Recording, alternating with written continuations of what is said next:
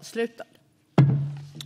Kammaren övergår nu till att debattera arbetsmarknadsminister Eva Nordmark, Socialdemokraterna, svar på interpellation 307 av Mats Green, Moderaterna, angående Arbetsförmedlingens anslag. Ordet går först till arbetsmarknadsminister Eva Nordmark. Varsågod.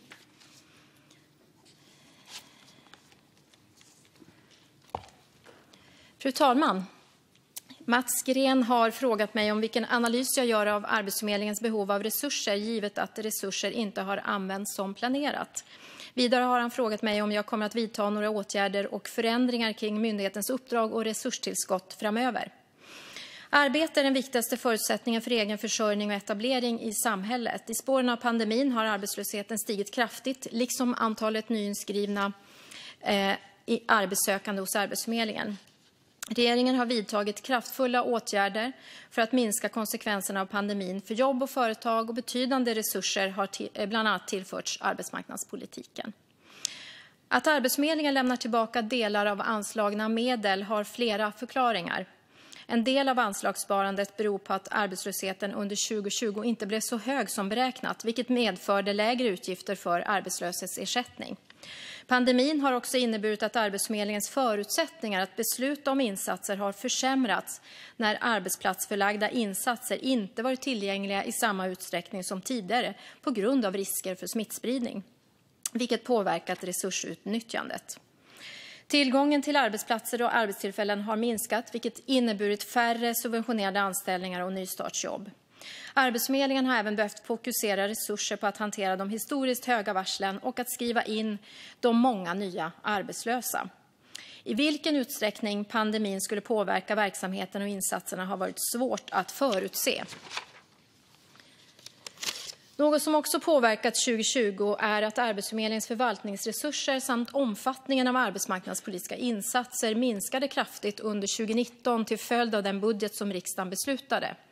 Insatserna var i början av 2020 nere på nivåer som försvårade möjligheterna att nå mer omfattande volymer under 2020. Jag kan samtidigt konstatera att det under främst andra halvåret, trots pandemin, skedde en positiv utveckling där allt fler arbetslösa fick en insats. Exempelvis har anställningsstöd för personer som står långt från arbetsmarknaden kunnat öka under året och antalet personer som fått ta del av upphandlade matchningstjänster har ökat betydligt under slutet av 2020. Regeringen har vidtagit åtgärder för att underlätta detta genom att förlänga maxtiden för introduktionsjobb, extratjänster och stöd för start av näringsverksamhet samt genom uppdrag att effektivisera processerna för anvisning till upphandlade matchningstjänster. Det är angeläget att myndighetens verksamhet fortsatt utvecklas så att de resurser myndigheten tilldelas kommer arbetssökande till del på ett effektivt sätt. När det gäller frågan om förändringar av Arbetsförmedlingens uppdrag och resurstillskott framöver så fortsätter arbetet med reformeringen av myndigheten och resursbehovet ses över löpande. Avslutningsvis vill jag säga att en aktiv arbetsmarknadspolitik är viktig för att hålla sysselsättningen uppe vid en ekonomisk avmattning. Det är också viktigt att Arbetsförmedlingen även fortsatt har förutsättningar att möta en hög arbetslöshet. Tack, fru talman. Tack för det. Då går ordet till interpellanten Mats Green, Moderaterna. Varsågod.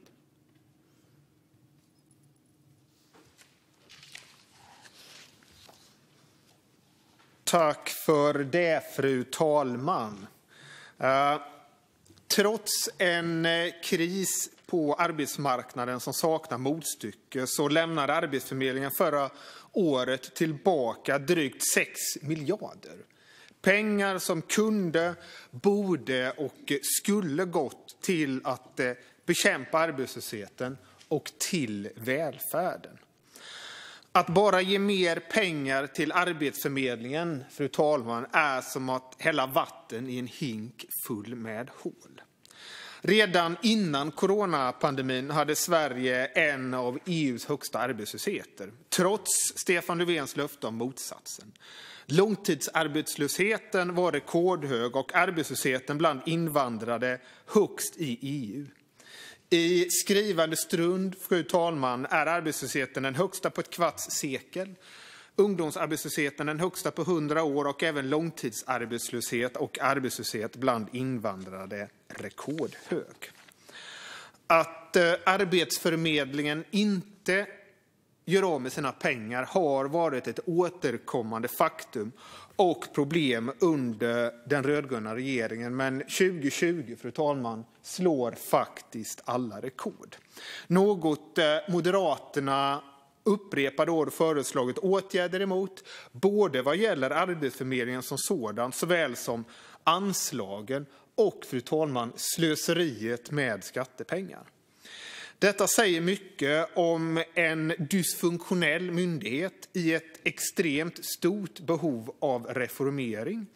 Men framför allt säger det också, fru talman, mycket om regeringens såväl som januaripartiernas oförmögenhet under en lång följd av år att styra en av landets absolut största myndigheter.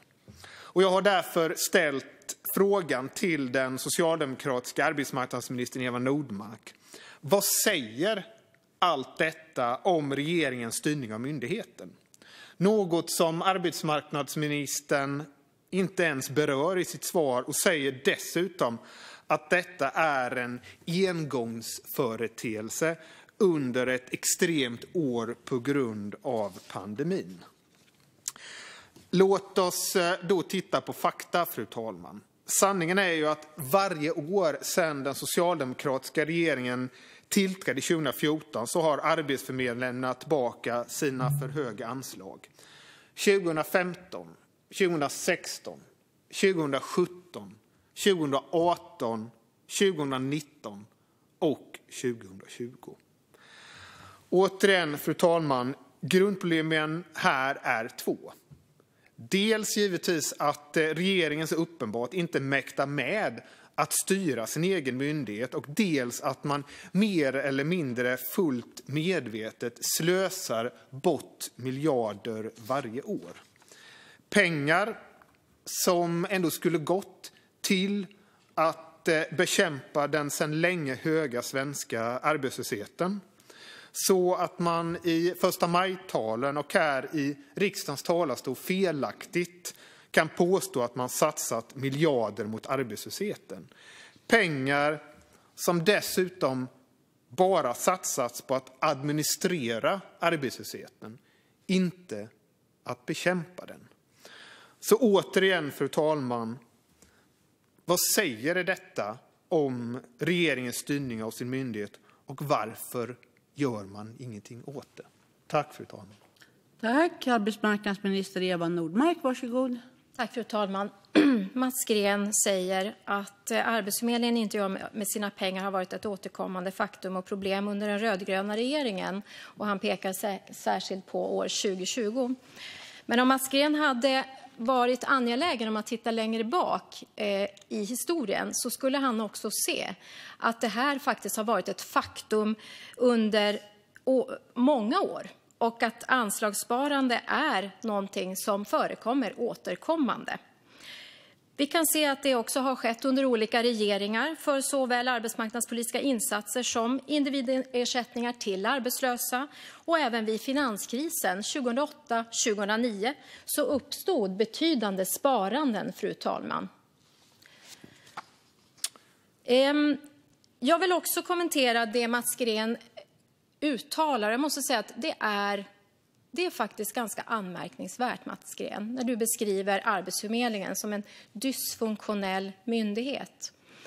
Jag vill säga det att det här är tusentals anställda som varje dag på Arbetsförmedlingen gör sitt yttersta för att hantera alla de varsel som har kommit in och under 2020, ett extremt år, som varje dag gör sitt yttersta för att ge rätt stöd till alla de människor som har blivit arbetslösa och för att hjälpa till att komma i utbildning eller komma i jobb.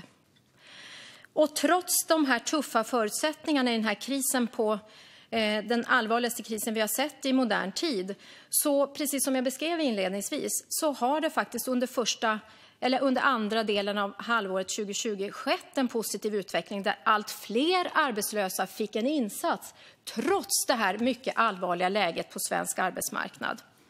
Och jag måste säga att jag tycker någonstans att det vore hedervärt om Mats Green också kunde fundera lite grann på sin egen roll i detta. Hur tänker Mats Green själv kring det faktum att inför budgetåret 2019 så röstades i denna kammare igenom en budget som innebar att 4 500 personer på Arbetsförmedlingen varslades om uppsägning. Det var Moderaternas och Kristdemokraternas budget som röstades igenom tillsammans med Sverigedemokraterna. Och jag skulle vilja fråga Mats Green, har det haft någon betydelse för de förutsättningar som vår viktiga myndighet Arbetsförmedlingen har fått inför det tuffa år som vi gick igenom 2020? Tack, fru talman. Tack. Mats Green, Moderaterna, varsågod. Tack, fru talman. Ja, alltså vad vi kritiserar här det är ju den totala bristen på styrning av en av landets största myndigheter som den socialdemokratiskt ledda regeringen har uppvisat sedan man tillträdde. Och det är oacceptabelt att man faktiskt på det här sättet mer eller mindre medvetet slösar bort skattepengar som skulle gått till att bekämpa arbetslösheten och gått till välfärden. Det slösas nu bort mer eller mindre medvetet på att egentligen bara administrera arbetslösheten.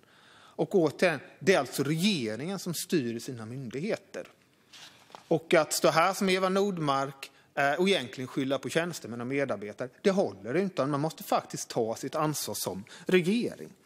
Och eh, Eva Nordmark säger här i sitt svar att pandemin har också inneburit att eh, Arbetsförmedlingens förutsättningar om insatser har försämrats när arbetsplatsförlagda insatser inte varit tillgängliga i samma utsträckning som tidigare på grund av risker för smittspridning, vilket påverkat resursutnyttjandet. Tillgången till arbetsplatser och arbetstillfällen har minskat, vilket inneburit färre subventionerade anställningar och nystartsjobb. Ja, alltså som vi sa innan, regeringen försöker skylla på pandemin. Men sanningen är ju den att problemen har ju funnits i flera år och Socialdemokraterna var totalt ointresserade av problemet. Till exempel så har ju praktikplatserna minskat varje år sedan 2015. Det fanns ingen pandemi. Nystartsjobben har minskat dramatiskt sedan 2017 och under 2019 var ingen aktivitet den näst vanligaste aktiviteten inom citationstecken i såväl jobb och utvecklingsgarantin och jobbgarantin för ungdomar som etableringsprogrammet. Och även 2018, arbetsmarknadsministern, så var ingen aktivitet den näst vanligaste aktiviteten inom citationstecken i jobb och utvecklingsgarantin och jobbgarantin för ungdomar. Det är naturligtvis oacceptabelt och vi lämnar stora delar av de här grupperna ungdomar och långtidsarbetslösa åt sitt öde. Och det är totalt oacceptabelt och på sikt ohållbart, fru talman.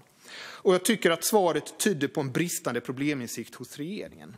Eh, problemen hos Arbetsförmedlingen med fallande resultat, problem att använda resurserna till effektiva insatser och konsekvent riktigt lågt förtroende har funnits i många år.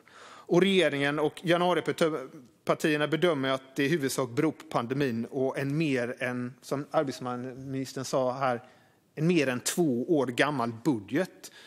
Gör man den bedömningen så är då läget allvarligare än jag befarade. Och för att få bukt med en ineffektiv arbetsförmedling och för att minska den rekordhöga arbetslösheten så krävs det faktiskt probleminsikt och en aktiv och tydlig styrning av regeringen och den har lyst med sin frånvaro under en lång följd av år. Och man bortser även från det faktum man hävdar att 2020 var ett extremt år. Eh, trots att du har haft samma utveckling sedan den socialdemokratiska regeringen tillträdde 2014. Man bortser från det faktum att redan innan coronapandemin så hade Sverige en av EUs högsta arbetslösheter. Trots, som sagt, statsminister Löfvens löfte om motsatsen. Och den passiviteten oroar mig eftersom det i förlängningen riskerar att leda till onödigt hög arbetslöshet, att färre personer arbetar för sin försörjning och därmed också mindre resurser till vår gemensamma välfärd, fru talman. Det är oacceptabelt och det är ohållbart. Tack så mycket. Arbetsmarknadsminister Eva Nordmark, varsågod. Tack, fru talman. Mats Green gör en eh, höna av en fjäder när det gäller anslagssparande. Jag vill återupprepa att eh, anslagssparande är ju ett faktum som har funnits under flera år och även 2008-2009 eh, under finanskrisen när Moderaterna hade regeringsinnehavet. Och om man tittar på det anslagssparande som, som då blev 2020 så kan jag konstatera att 40 procent av det, eh, det handlar ju om att eh, arbetslösheten inte blev så hög eh, som vi hade trott från start. Alltså behövdes inte lika mycket ersättningar, individersättningar betalas ut i arbetslöshetsförsäkringen. Det borde ju vara någonting som glädjer Mats Green. Men sen är det också så att vi har en pandemi och Arbetsförmedlingen har verkligen jobbat hårt för att se till att ge ett bra stöd för de människor som har blivit arbetslösa. Men det har varit väldigt svårt, bland annat med arbetsplatsförlagda aktiviteter av det enkla skälet att väldigt många har arbetat hemifrån och på grund av risk för smittspridning så har man inte på samma sätt som tidigare tagit emot arbetssökande. Jag noterar också att Mats Green eh, väljer att inte alls svara på den fråga som jag ställde.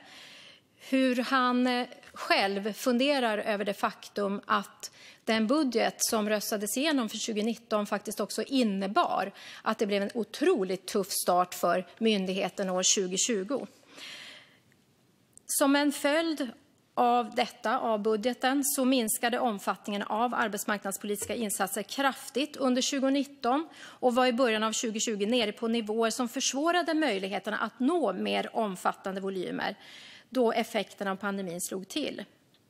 Regeringen och samarbetspartierna har ju sedan dess lagt fram nya budgetar. Med budgetproppen för 2021 har Arbetsförmedlingen förstärkts med 1 miljard kronor för att möta den ökande arbetslösheten samt att säkerställa en ändamålsenlig lokal närvaro och likvärdig service i hela landet. Och det är väldigt viktigt att Arbetsförmedlingen även fortsatt har förutsättningar att möta en hög arbetslöshet. Fru talman! När Mats Green analyserar Arbetsförmedlingens förmåga att använda anslagna resurser så får han väldigt gärna reflektera över Moderaternas egen roll för myndighetens kapacitet att hantera följderna av pandemin. Vilka förutsättningar gav denna plötsliga neddragning på över 3 miljarder kronor Arbetsförmedlingen att hantera ett kraftigt inflöde av nya arbetslösa? Jag ställer den frågan alltså igen. Fru talman. Alltså, vi försöker inte ens vinna något race om att försöka satsa mer pengar i regeringen på att administrera arbetslösheten. Och jag har varit snäll här idag därför att den egentliga summan som Arbetsförmedlingen återlämnar den är 8,7 miljarder. Och vi hade kunnat diskutera de återstående summorna där, men det har jag valt att inte göra utan jag, eftersom de då handlar om individbaserad ersättning, utan jag fokuserar på förvaltningsanslag och övrigt. Och jag noterar att trots att eh, arbetsmarknadsministern påstår att Arbetsförmedlingen fick för lite pengar under 2019 så de ju även då tillbaka pengar. Eh, och återigen, regeringens styrning av en av landets största myndigheter fungerar inte och har inte fungerat sedan man tillträdde 2014. Och låt mig få avsluta med att citera Eva Nordmarks partivän, det socialdemokratiska kommunalrådet i Falkenberg, Per Svensson, som skriver så här. Okej, okay, nu kan inte jag vara tyst. Att Arbetsförmedlingen lämnar tillbaka 6 miljarder krisåret 2020 är inget annat än oacceptabelt. När AF dessutom gör det år efter år samtidigt som arbetslösheten är alldeles för hög och företag skriker efter kompetens är det inget annat än ett enormt misslyckande. Han konstaterar även att citat, jag tycker att den havererade statliga arbetsmarknadspolitiken har fått alldeles för lite uppmärksamhet i debatten om utanförskap, segregering och ojämlikhet.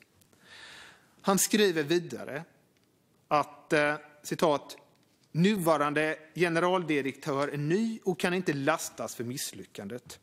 För regeringen finns bara möjligheter till förbättringar. Fru talman!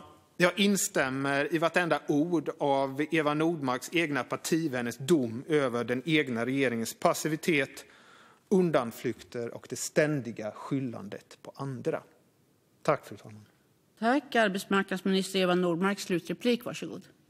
Tack, fru talman. Ja, jag kan ju i alla fall säga att jag delar Mats Greens engagemang för arbetsmarknadspolitiken. Och vi måste ju i detta nu göra allt vi kan för att minska krisens effekter, eh, både på jobb och företag och för att förhindra att långtidsarbetslösheten biter sig fast på höga nivåer.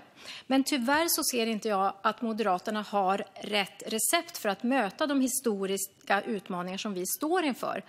Moderaternas politik den innebär bara plikt, ingen rätt. Deras arbetslinje går ut på att det enda sättet att få människor att söka jobb det är att göra ersättningarna så låga som möjligt.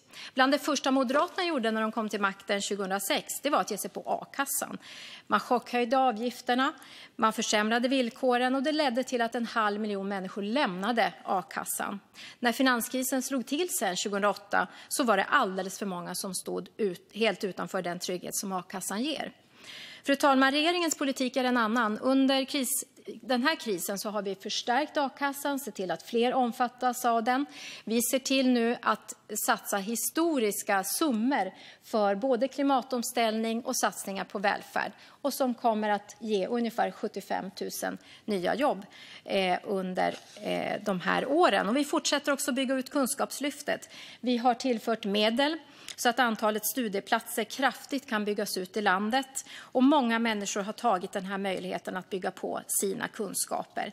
Det är så vi ställer om för framtidens jobb och för att komma starkare ur den här krisen. Och om det är någon arbetslös som har sett den här debatten så vill jag säga till dig att det är inte kört. Fortsätt sök jobb. Det finns jobb att söka. Håll dig aktiv. Skaffa en utbildning. Det är en jättetuff tid nu, men vi ska ta oss igenom det tillsammans. Tack, fru talman. Tack för det. Och därmed var debatten med anledning av interpellation 307 av Mats Gren, Moderaterna, angående Arbetsförmedlingens anslag avslutad.